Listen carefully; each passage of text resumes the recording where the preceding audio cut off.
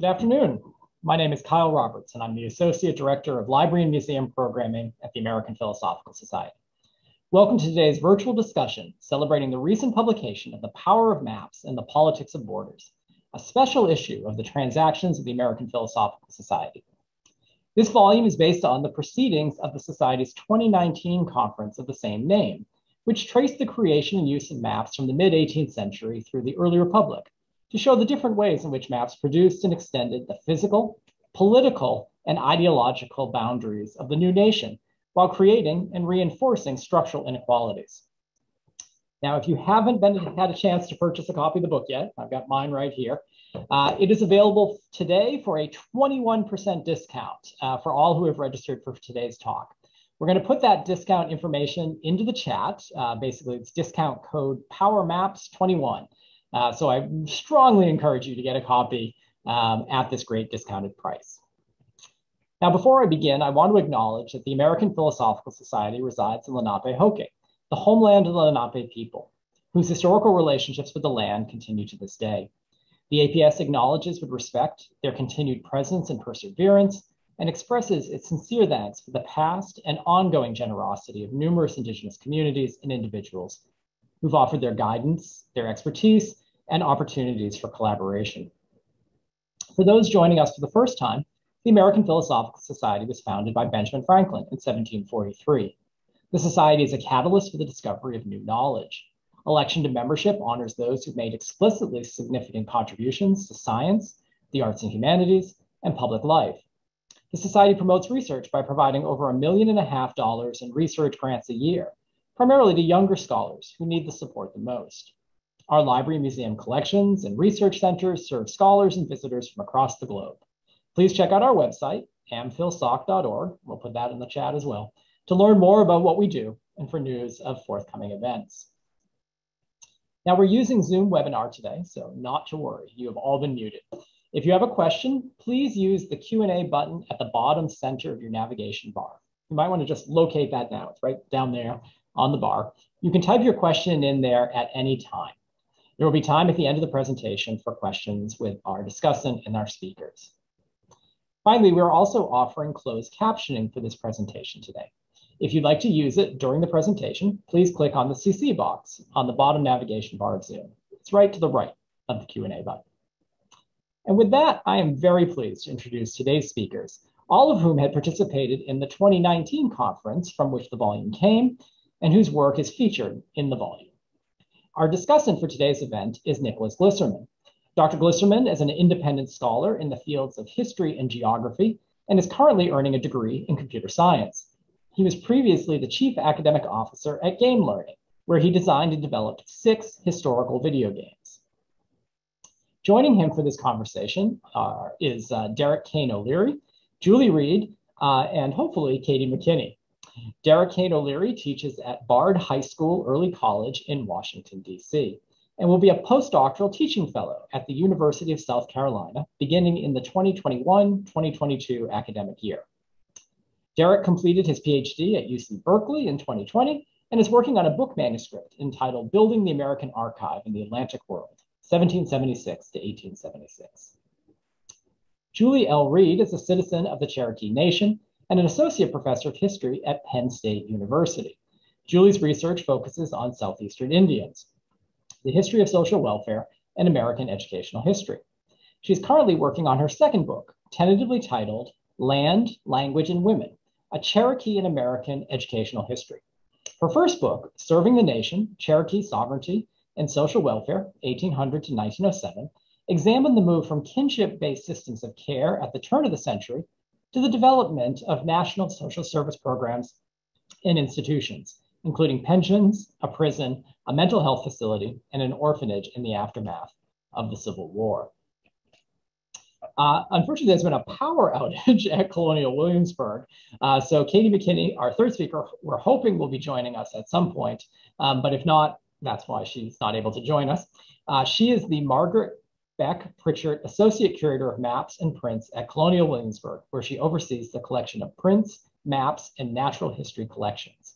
She holds a master's degree from the Winterthur Program in American Material Culture at the University of Delaware. and a BA in art history and history from James Madison University.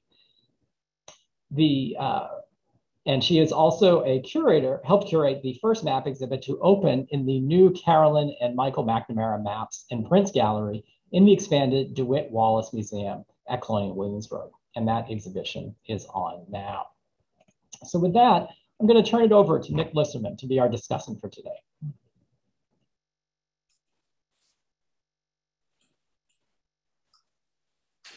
Hello, everybody. It's uh, great to be with you. And uh, it's really wonderful to see Derek and Julie and hopefully Katie soon.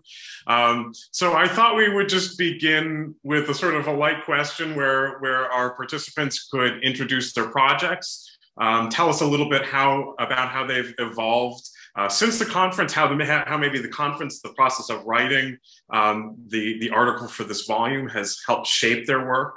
Um, and, and I understand that everybody has an image or two that maybe helps to crystallize what, what their work is about. So uh, please, you know, show us, sh don't, don't just tell us about your work, show us your work. And I'll, I'll uh, hand it off to uh, Julie and Derek, and then if Katie shows up, uh, we'll we'll let her say hello too. Thanks, Adriana. I'm going to ask that you um, show my share my image if you could. So I am um, not a historian of maps, as as my introduction made clear, um, but I had the opportunity back in 2015 to begin going into some caves in the southeast um, with what appeared to be early uses of Sequoyah's syllabary th- throughout caves in a variety of hands um, for a variety of purposes. And I'm a historian. And so, what am I doing in a cave looking at archival material? But and, and so that was exciting in and of itself, um, just the sheer magnitude of these cave spaces. But the space itself and reading a document in a cave became um, it, it blew my blew my world apart in so many ways. I was writing a book on Cherokee educational history that I thought was going to be a strictly an institutional history. Um, and then I go into caves to read documents, but these documents were unique in that they are written everywhere. So there's uh, pieces of what's written on the walls to my side. There are elements of the script um, on the ceiling above me, and you can see myself and Beau Carroll, who's one of my co-authors on a couple of pieces, um, who is an Eastern Band um, Cherokee in, Indian member and also a PhD student at the University of Tennessee in archaeology. So here we are in these caves. We're having to crawl along the ground to look at what appear to be single syllables. Um, we're looking at walls that are at our, our height. And then we're having to look ab- above us um, at the ceiling itself to read. And immediately, this, this complicated any reading of documents that I'd ever previously done, not only because I was in a cave doing it, but that there was something spatial about it, that it wasn't enough to just read a cave wall in order to fully appreciate what my ancestors were doing. Did I have to read this space three or possibly even four dimensionally? Um, you know, was there a level of dimension dimensionality that was necessary um, to read this space? And that changed the entire trajectory of my second book project in and of itself because it moved me into an archaeological period thinking about these caves as much older spaces that pre-existed um, Cherokees as we know them today, but certainly were cornerstones of ancestral Cherokees. Um, and at the same time got me thinking about what the, where this cave was what it was in proximity to what the community it was connected to um, also had going on in that moment. And so reading this space both relative to its distant past but also reading it to its historic present and thinking about all of these relationships. And so that led me to look at some maps. Um, and I, again i use maps but i don't um, I've never treated them in, the way that I treated them both for this publication, but also the ways that I've treated them since then for the purposes of thinking about spatial relationships. So, you know, one of the ways that I thought about these maps was both the authorship of maps. So when do we get indigenous informants and or indigenous map makers and how are they reckoning space? Um, and how is that unique or different from how non-indigenous map makers are are reckoning space and creating borders and and there are some clear distinctions that are that are easy to make at the same time as a couple of the other pieces in this volume make clear, Cherokees are astute and they know what's going on relative to borders and they know what's going on relative to how map making is happening. Um, and so, what this cave and this the, this the spatial qualities of this cave told me were that Cherokees continued doing and thinking about their cosmological worlds and mapping them in certain kinds of spaces in ways that were much older. And they used new technologies like the syllabary to do it. But outside of these caves, they're also using new technologies um, relative to treaty making, relative to boundaries, to kind of assert sovereign rights to um, European colonial powers, but then to the, the young United States during this period. And so I, you know, I've increasingly tried to put space at the center of my work. So maybe not maps per se, although maps have been a tool for doing that, um, but thinking about the spaces that people occupy and what shows up on, on maps over time and, and what's not on maps. So caves are not on maps in, the, in, this very early period. And yet caves are a space that people are interested in both for resources um, but they're also interested in them in terms of again in terms of indigenous histories. There's there's an important important piece to this these caves themselves. And so really thinking about all the ways that people are reckoning space and and thinking about space that are again are making their ways onto to, to maps as, as you'll see in this volume but that are also again a part of an older cosmological landscape that people are are living on and and learning from and continuing to use um, to to understand the spaces around them. So i'm gonna i'm gonna stop there for that question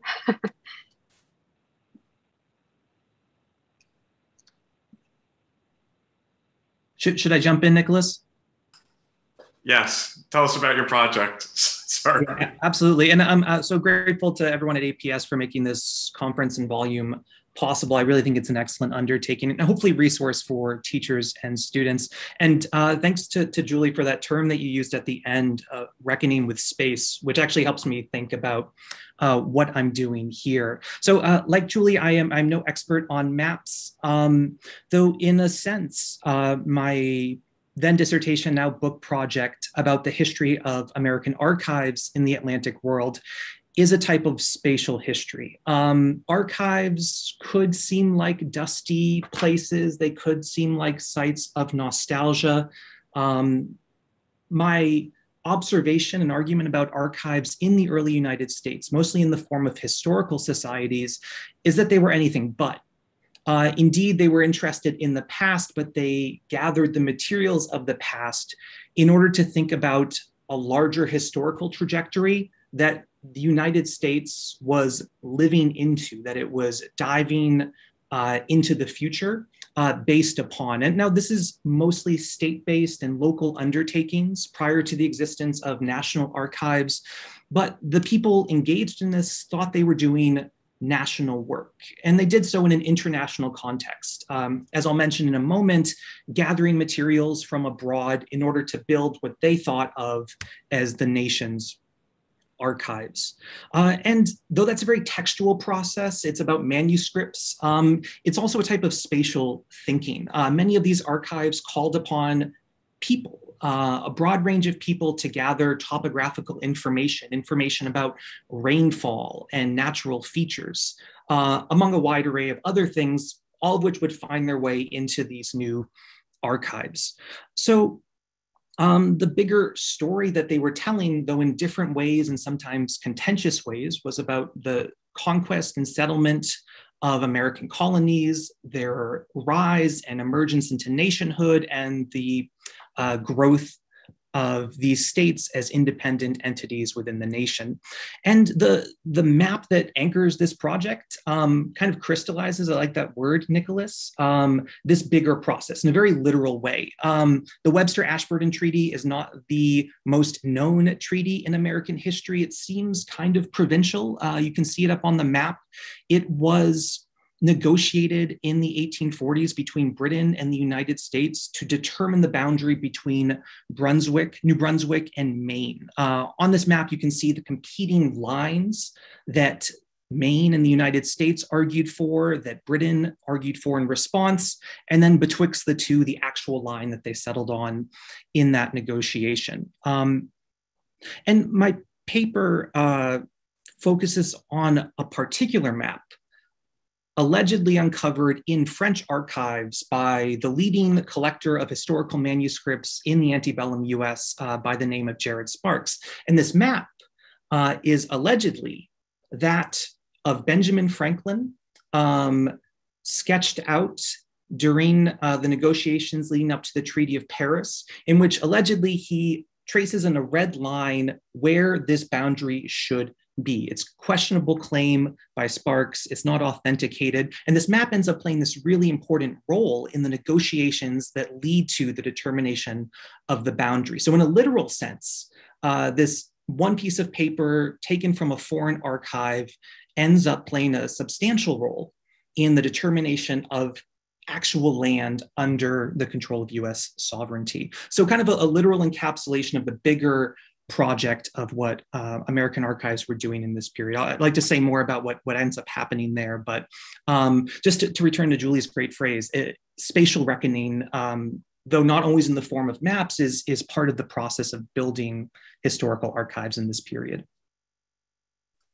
One of the things that I love about um, getting to have a panel of people together and, and, a conference that puts different top very different topics into conversation is i think we get to see some real similarities. And, and in the case of you two i just um, i think the word that in, in, common that stands out to me that i didn't even think about until i was hearing you you know talking today is is archives because i think julie what you were showing us is an archives of a very different sort maybe than than uh, what what derek was showing us. But um, you know, when you said it's not on the on the maps, you know that there's a sense of let's let's keep these things hidden or let's let's not reveal everything um, because because the Cherokee are you know intelligent actors and they understand European ambitions and it's kind of the same thing, uh, Derek. When when uh, you know in your article you talk about Jared uh, Sparks you know trying to get into these archives and he and he's kind of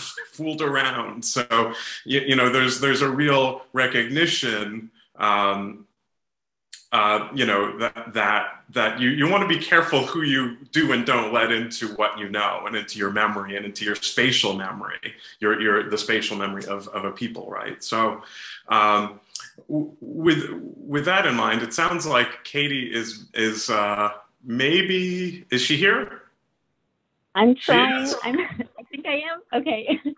okay. So, um, Katie, welcome. Hi. It's great to have you here. Um, we're, we're just at the beginning of this. If, if you could tell us a little bit about your project, and we'll uh, have somebody put up your map image. But yeah, please tell us about your project. Sure.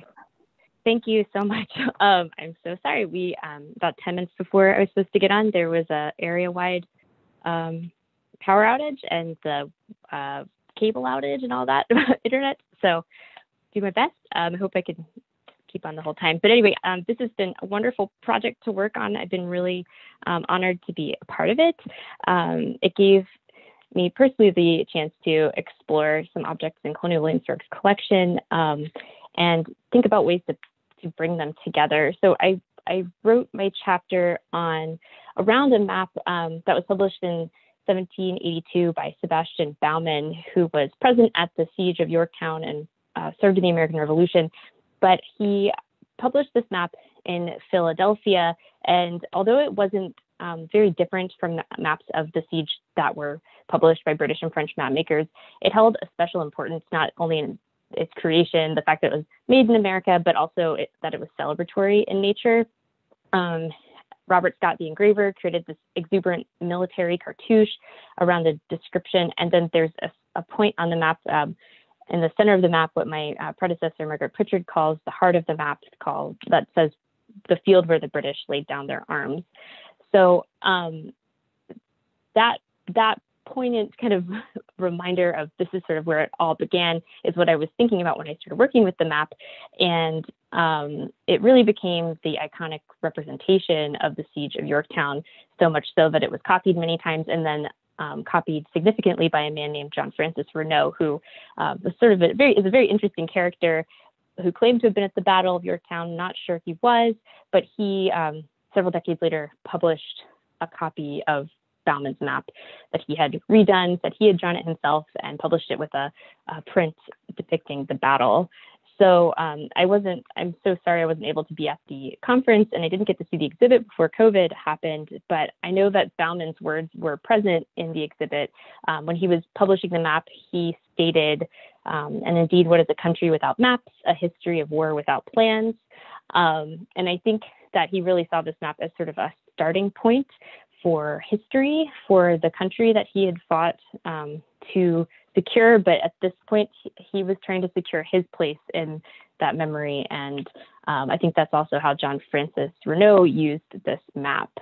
So, um, you know, rather than attempting to create a new map of the United States, which would have been way outside of his skill set or purview, he created a map that isolated Yorktown as the birthplace of the American nature, nation and designated it as a kind of starting point for American cartography.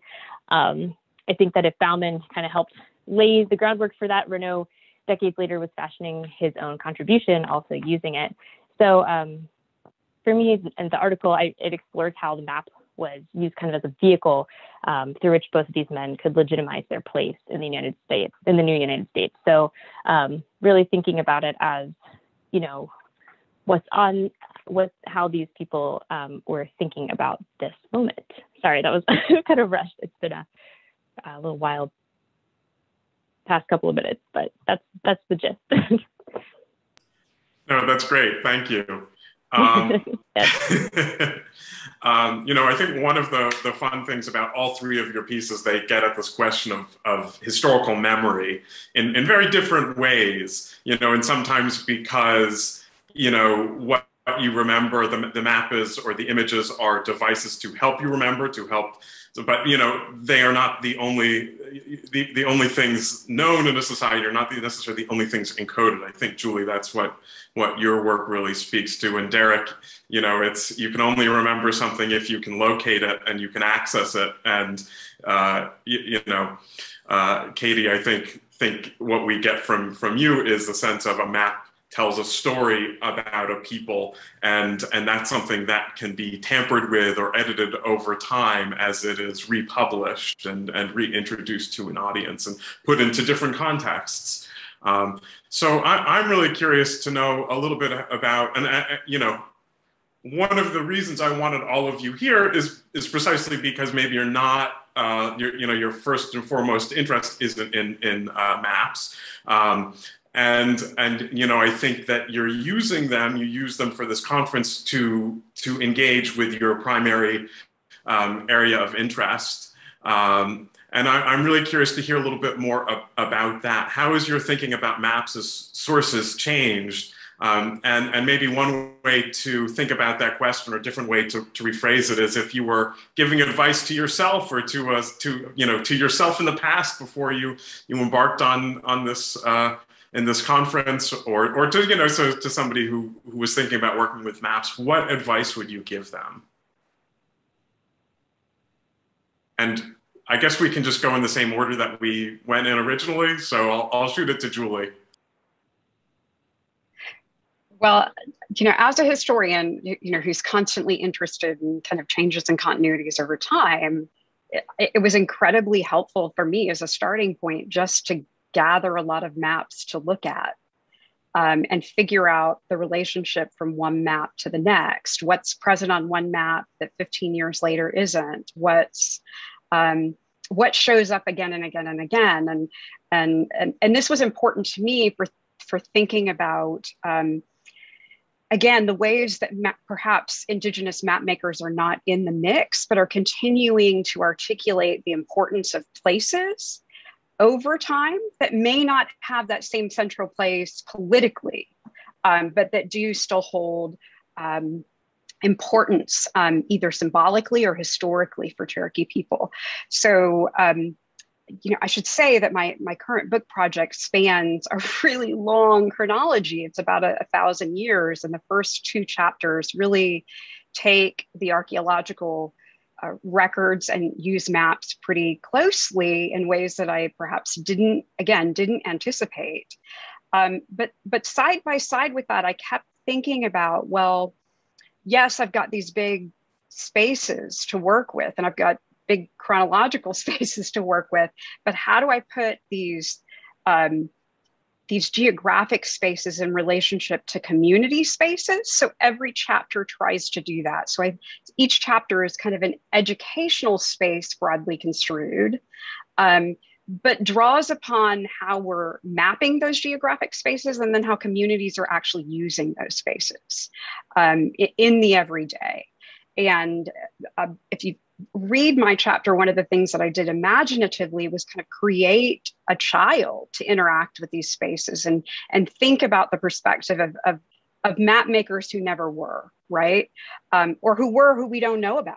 Um, you know that we we can't preclude that that children and women were not participating in some of these activities, and so that um, trying to imagine these relationships to space has led me to again kind of think about well what are what are the what are the consistencies over time? So the presence of the town of Kituwah which has been continuously ad- occupied for 10,000 years continues to show up on maps over time even when euro americans are saying oh no these other towns are way more important. Um, and and so thinking about that as as a way to um, challenge myself to think about how significant those spaces are to Cherokee people over time, um, but also challenge myself to think about new spaces that are that are coming into play um, that I that I have to reckon with. And um, you know, additionally, I um, I would say just look at look at as many maps as you can by as many different authors as you can, and recognize they're all plagiarizing. Like that was the other, the, the the the big kind of discovery for me, not having ever thought about maps in any real way, was the the ways in which map makers are continuing to rely on previous maps and just reproducing many elements of those maps. Um, and so knowing that was incredibly insightful. Um, and at the same time, that also gets at like with Cherokee people are introducing these sites in a very early moment, they're being reproduced because Cherokees thought they were significant, um, both at a certain point in time, but that also by sharing that information, it's going to be embedded through these maps over time, whether non-Cherokees like it or not, um, just by the map making conventions of the day. So um, I, I, have enjoyed using them. I can I can imagine using them again, and I'm also um, disappointed when I can't find the maps I'm looking for to help me kind of guide myself through a new space. So so yeah, they've become a bigger part of my life than I anticipated for sure. Well, that's the goal. um, yeah, I think there's there's so much um, great stuff in, in, in, your in your answer, and and I think um, you know the, the question of why do maps get copied? Why do people copy maps is, is a really excellent one. Why and, and sometimes why are they not copied? Why do we not have them? But is it is it laziness? Is it because that's all we have? Is it because this is something important and we want to reaffirm it?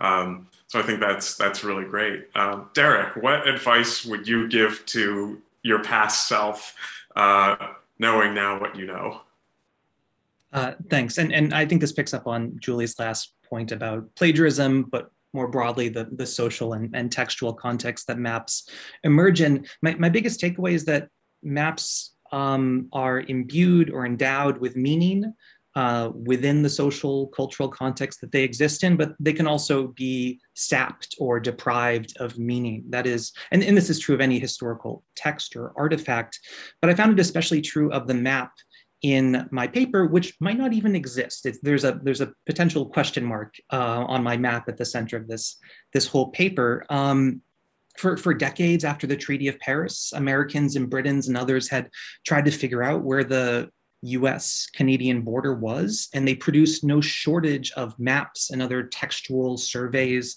of that border. And it was only with this alleged uncovery by Sparks of a map in the French archives um, with this red line seemingly determining where the border is, that it seemed possible to cut through that. And Sparks, working with Secretary of State Daniel Webster, used this map, which to their um, dis- discomfort seemed to support the British claim rather than the American claim. They used this map to get the Maine delegates to support a treaty that asked for less land. So it was a, a way of herding cats to the negotiation table. Um, so the map was endowed with meaning in that diplomatic uh, political context. But then when the treaty was signed, the ink was dry, and it became public knowledge that uh, Sparks and Webster and, and US con- uh, senators as well had known about this map, but not told it seems, the British negotiators. Some people were outraged. Some, some British politicians were outraged. And in response to that, Sparks, Webster, and others, they backtracked and they said, well, the map wasn't really that significant. We don't even know if it's the real thing or not. So there's, there's this um, kind of ebb and flow of the meaning attributed to this map. And, and my takeaway from that for, for myself and others is um, we need to um, appreciate the map or whatever the resource is as a, as a fluid item within whatever the context is. It doesn't have a stable meaning, but a meaning that can be manipulated, um, enhanced, or, or diminished um, based on the, the interest of the people who hold the power over it. Yeah, I think that's great, and I, you know, just thinking about the title of this of this volume and the conference, "The Power of Maps." Well, there's no monolithic power here, is there? And I, I, think that's one of the things that all of our contributors show so brilliantly is, is exactly what you were saying, Derek. It's something that, that ebbs and flows. It's, it's contextual. It's, you know, the map maybe has some power in this moment, and maybe it's not quite the power you would think it would have, right? So, so it, it's, it's not, it's not helping us um, to prove our point in a, in a treaty or you know in, in, in, a you know in a delegation but hey it's help, helping us to um, you know br- bring bring our own internal uh, you know p- people with their own set of internal interests to the table and to get them to go along. And then then when it's no longer convenient we'll, we'll say oh, no no no no no. Um, great. Katie what what what do you wish you knew then that you know now? Yeah um, I I think when I first started working with maps, which really wasn't too long ago, it was maybe five or six years ago, um, in the role that I have, um, I curate the prints and maps, so the, all the graphic materials. And the prints I felt very comfortable with from my background, but the maps I was so intimidated by. And I think um, I I wish that I'd I'd known, you know, then all of the different ways you can look at them. And I quickly started to learn that through great mentors and um, people throwing really interesting sources in my way. But the thing is, they are very intimidating because they're so complicated. But at the same time, there's so many different ways to look at them. And I think this volume really shows that. And the two other panelists really explained that as well, pretty well. That, you know, there's just there's so many different avenues. There's social history, political history, military history, which I think are sort of on the surface, the surface of, you know, thinking about them in terms of empire, these different instruments. But there's also so much more within the maps and beyond the map. And I think that this volume um, really captures that very well that there's so many different perspectives and angles and disciplines that can benefit from re-examining maps and using them. Um, I think of I work with them and think of them as think of their physicality um, and think of what sort of how they moved around in space, how they were created, um, and those are all things that you know I felt I feel comfortable talking about and realize it's all there. There's so much that you can do um, with maps. So I think for anyone who's really interested or is a little intimidated by taking on working with a map, um, find the thing that interests you and it's all there. Great.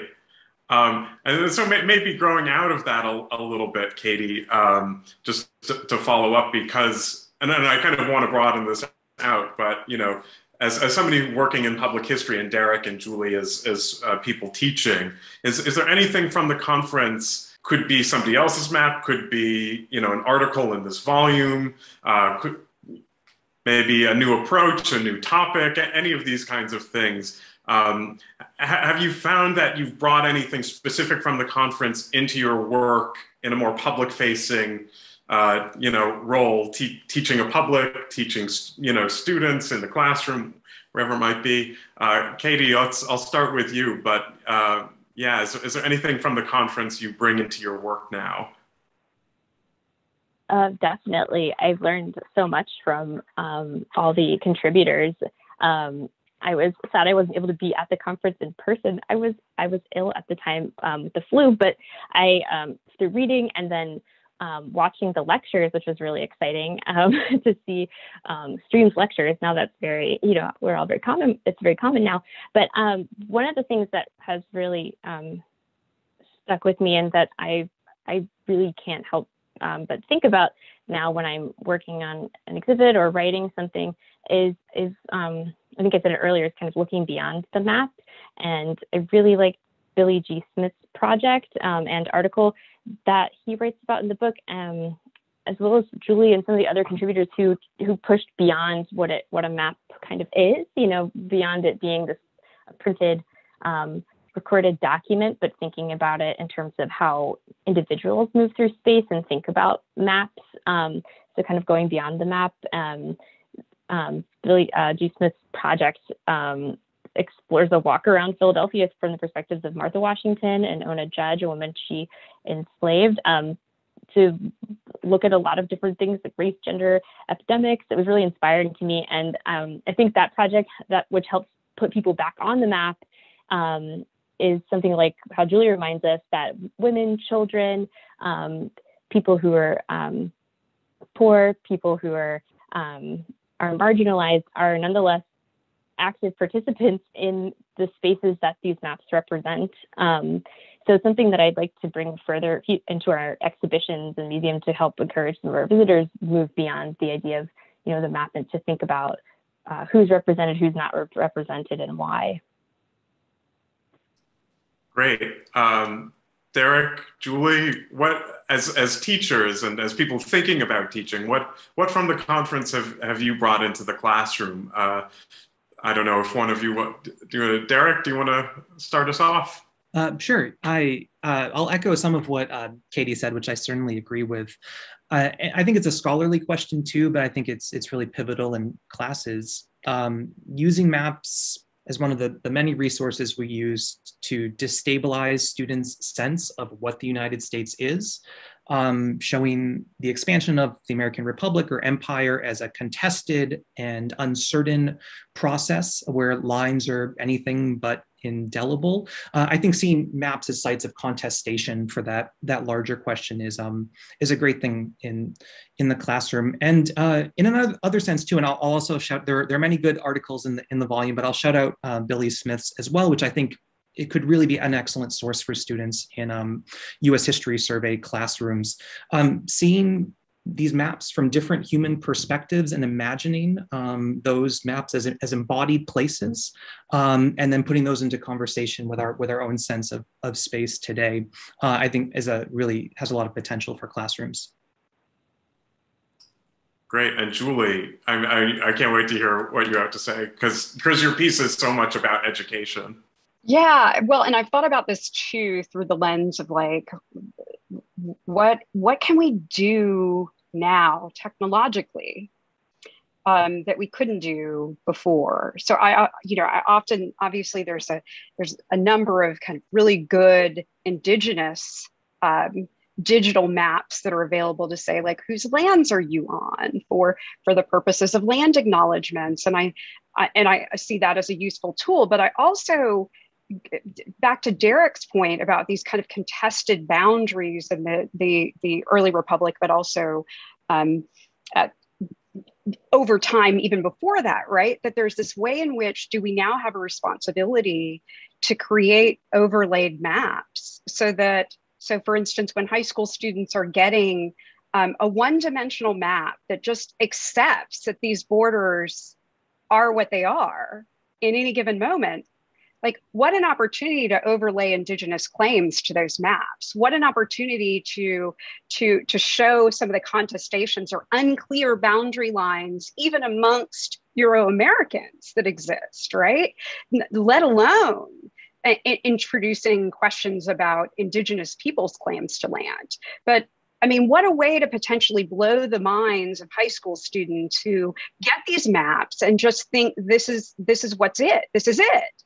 And in fact, it wasn't it then, and it isn't that clean now, right? As we discuss land land back movements in the larger indigenous communities across the nation but that there's also again kind of really fruitful ways to make this complex around just map making right? Not even looking at like other kinds of spaces like caves that don't show up on maps, but just the maps themselves should be far more contested digitally um, than what we've ever been able to do before in terms of what's possible.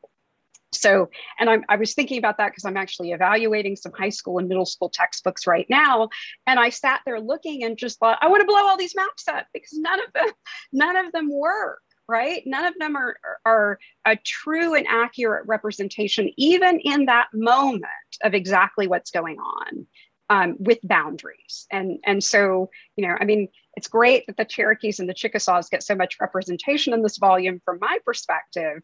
But I think even in terms of of the volume and thinking about how Cherokees and Chickasaws are contesting each other's claims to land, right? That there's just layer upon layer of contestation around maps and borders that that that, that this can provide. Just simple overlays um, digitally could could expand teaching opportunities in so many ways. Uh, if I can just respond, I, am I'm, I'm like excited by this this way of thinking about it and this provocation. It's my intention to give a series of map quizzes this coming semester to my US history survey students of, of the colonies in US over time, but how, how in the world would a teacher do that in a way that accounts for these, these many different cartographic um, perspectives? And but, but I feel like that could be productive in the classroom too, thinking about those, those overlays, so to speak. Sorry, class, there was no right answer. You all fail, I guess. Um, no, I really love I really love this uh, conversation because I think it again points us to the way that the power of a map shifts, and we can flip it on its head in you know in the present, uh, maybe using new techniques. And so with that, I'm going to switch into some audience questions, and I think. I've got a really good one um, to launch off of, of this, this question of um, using digital techniques. Um, to, to flip maps on their heads. So uh, uh, one question is, uh, our maps today are mostly digitally rendered. Do you uh, panelists see more continuity or difference from the historic maps you have all looked at? So maybe another way to, to think about this is what happens when a map goes from a paper or a rock or some, you know, kind of a physical surface into a digital screen?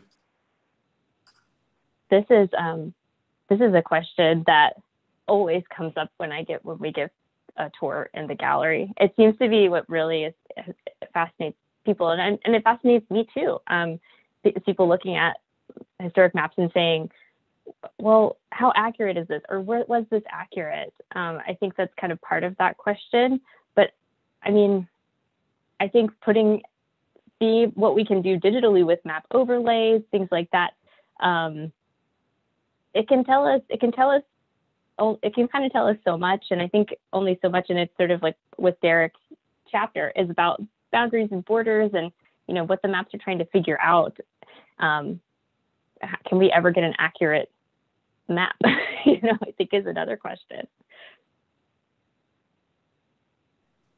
um, a, a, stray thought. I, I feel yeah. that um, it, it's possible if, if when you look at the maps in this volume, many of them have fuzzy lines or spots, spots that are not filled in. Um, so not only are they just from a perspective, but they're from a perspective that has um, much less than quote unquote comprehensive knowledge of the space.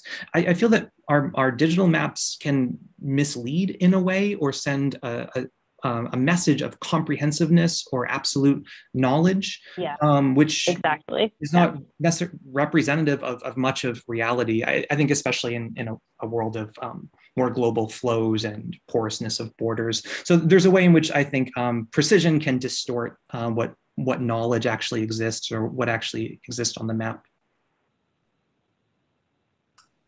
Great, thanks, Julie. Do you, do you have any thoughts on this on this question?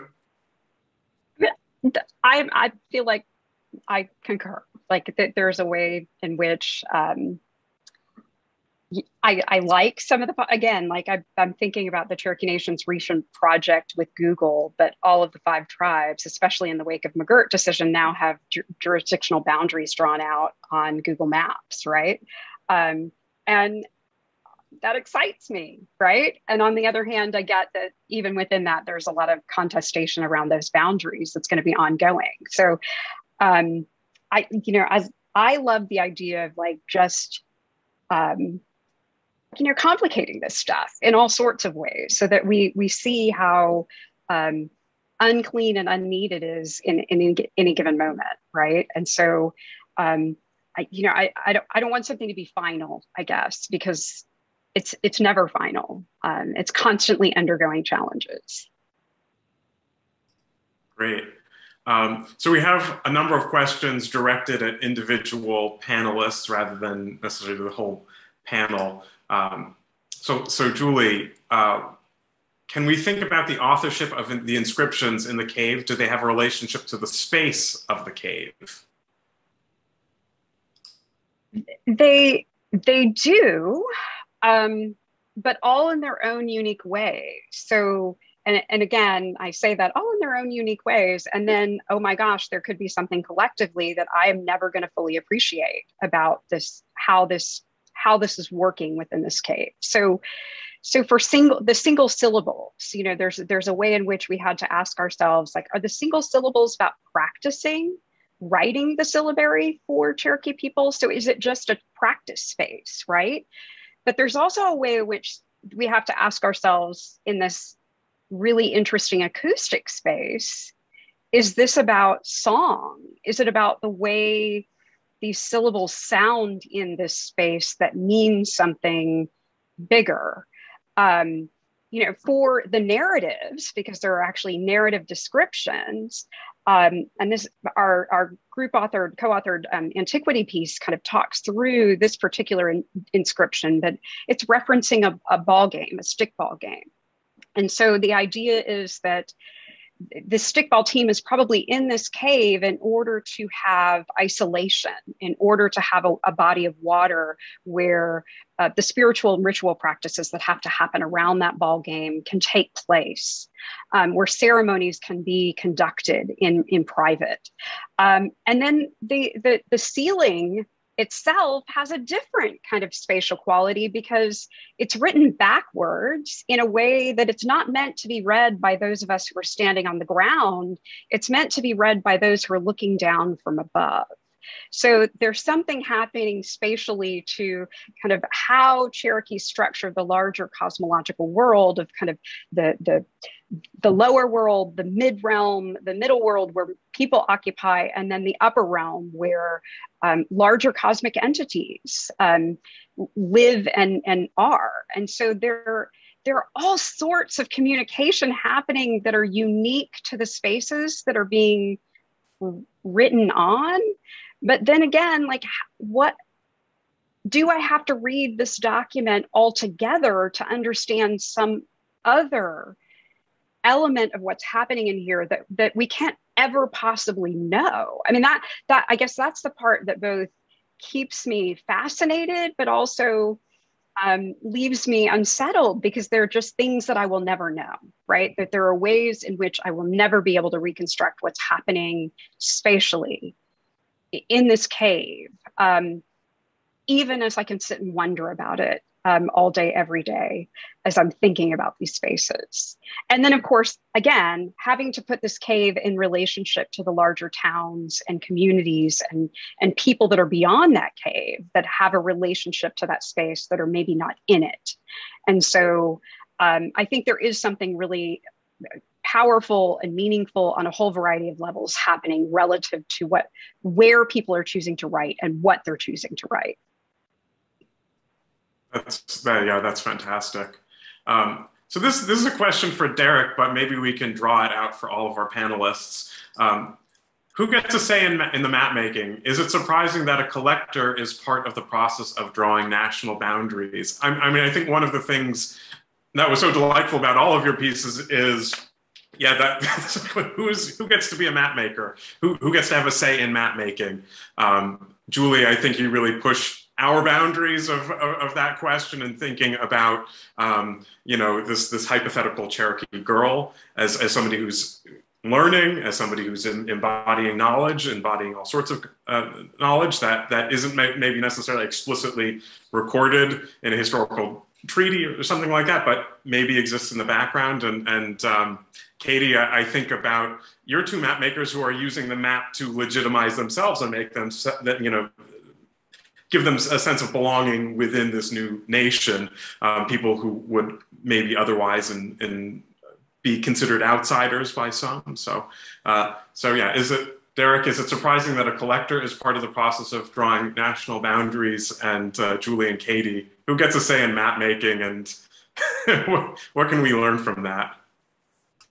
It's a great question. I, I, I think it's it's not surprising that institution, major institutions, um, people with substantial political and diplomatic power or, or, social capital generally, are leading this process and superintending the, the meaning of this map and what it can do in a, in a diplomatic context. Sparks is um, adjacent to power. Um, he activates um, US ministers, he hobnobs with um, foreign politicians and people who have access to the French uh, National Archives.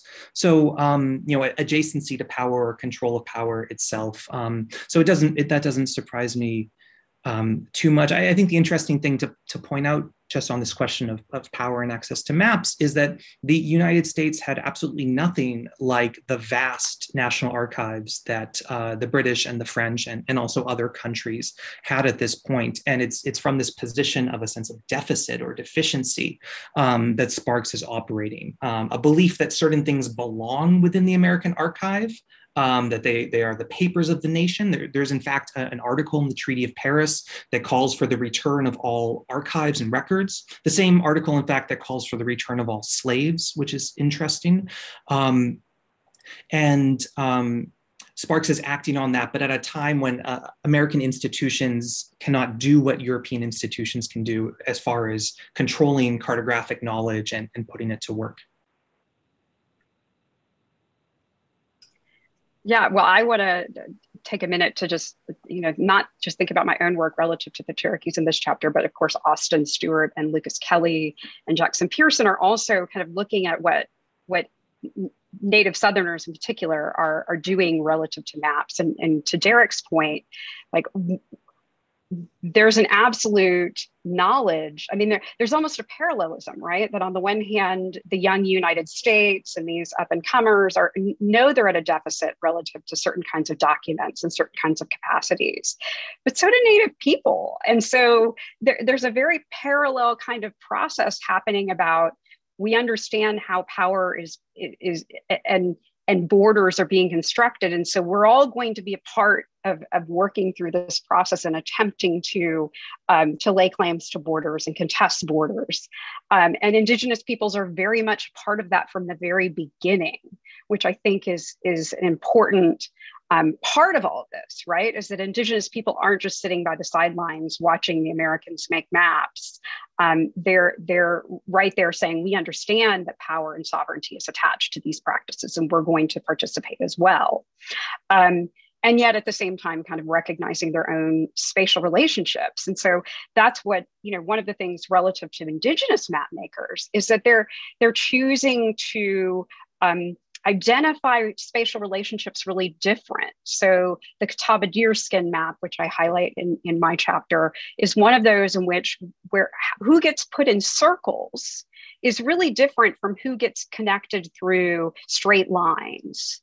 Um, and so those relationships get placed on maps by Indigenous map makers, but a lot of that's going to fall away as kind of um, map making gets more sophisticated, gets more standardized, and Indigenous formants get relied upon less, or whose contributions get um, pushed aside or ignored in future renderings. And so I do think there's something to be said for how, if Indigenous map making had continued to develop side by side or had been able to develop um, of, of its own free will, perhaps, what the maps might have looked like side by side um, with non-indigenous map makers and cartographers. Like i think that would be fascinating. And we have a, a, good sample size to say they would have looked really different and what they chose to represent would have looked very different as well. Finally got zoom to work. Um, yeah um, I, I in thinking about Baumann and renault so the two map makers that um, I wrote about, I was speaking with one of my colleagues who's a military historian, and he said, with if this, if he had never made that map, you would never really known his name. You know, he would have been kind of a minor figure. He, in New York, you might have, he became a postmaster and, and things like that.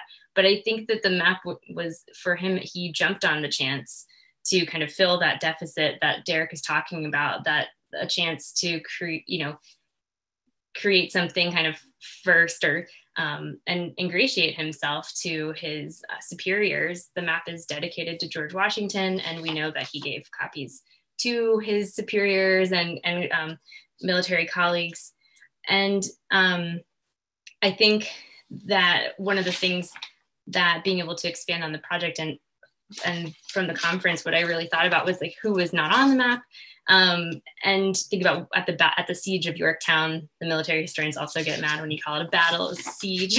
Um, the siege. They uh, there was a um, there were a, there was a large number of um, people who had been enslaved who fled to the British lines who were dying in large numbers in Yorktown because there was a, um, a smallpox um, outbreak there, and the British Army um, just was inundated with all these people who were coming to them for freedom and they were they ex- were expelled.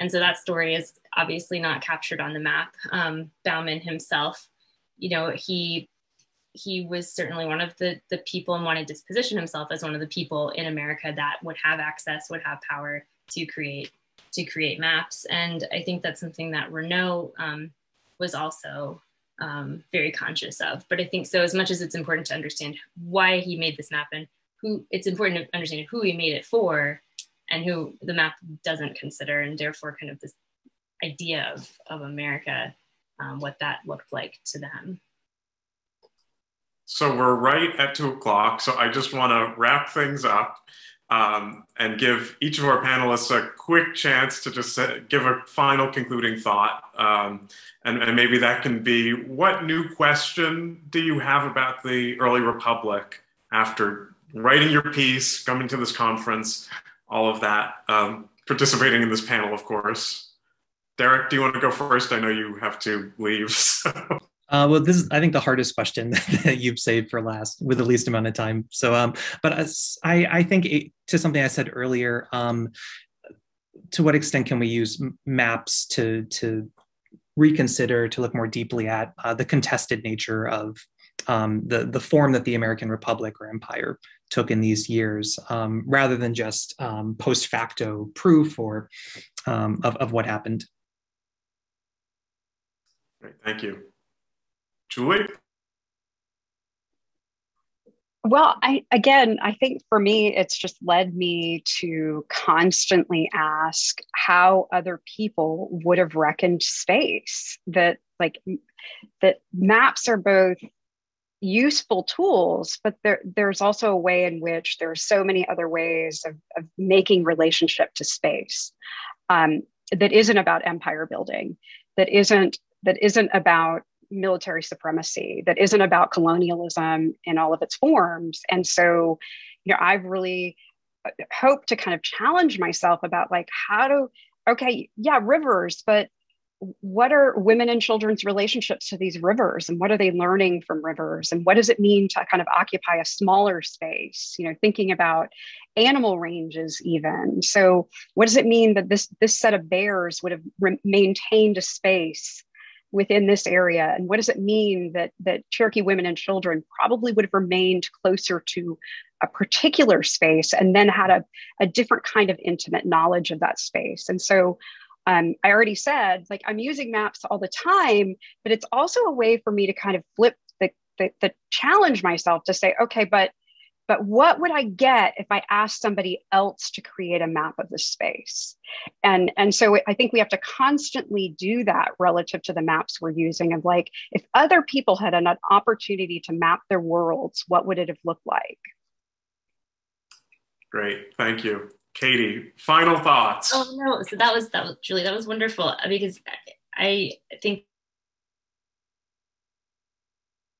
that this process has made me think about exactly a lot of those questions is um, how and, and something you said pointed out earlier about kind of uh, putting um, native maps of native space next to the map, existing maps that we have um, those are those are things and th- these are i think the volume and, and some of the work in the volume helps um, I mean, has expanded my my knowledge because I, you know, was seeking how, you know, how would Indigenous people think about space or where do you see them on these maps? But the the volume and the chapters um, on on those topics have really helped um, expand my own knowledge and hopefully can keep asking questions. But I think um, I think just the concept of looking looking beyond what's on the surface um, and questioning um, what we're seeing and asking some of those deeper those deeper questions. Um, that's what i know i'll carry with carry with me but it'll help you know has expanded my knowledge my ideas about what early america early americas were and are. Thank you. Great. Well thank you to all of our panelists. It's been a pleasure speaking with you today and i encourage everybody listening to get a copy of this wonderful volume and reading all of the wonderful pieces in it. I don't know if there's any other uh, business. Does uh, Kyle, do you have anything else to say or are we good to go? All good to go. Just to thank you for a wonderful event. Uh, and we will see everyone next Wednesday uh, for a talk with Sarah Pomeroy and her new book, Benjamin Franklin Swimmer. So do join us if you can. Thanks, everyone.